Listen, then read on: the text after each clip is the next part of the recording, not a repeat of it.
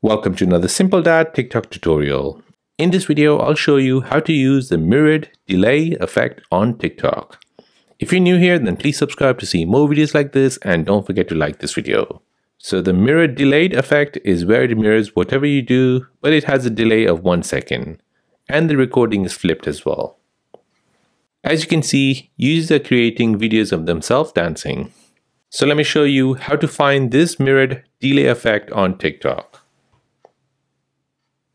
So first you want to open up your TikTok app. Next, tap on plus here at the bottom. Then tap on effects.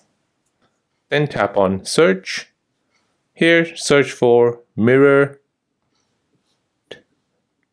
and then delay. And this is the effect which you're looking for in the search results. Go ahead and tap on that. Now, as you can see, it's a mirrored copy of me on the right hand side. So go ahead and start your dance and start recording your TikTok video using this mirrored delay effect. And that is how to find and use the mirrored delay effect on TikTok. If this video is helpful, then please subscribe to see more videos like this. If you have any other questions, then please do let me know in the comment section down below. Thanks for watching and see you in the next one.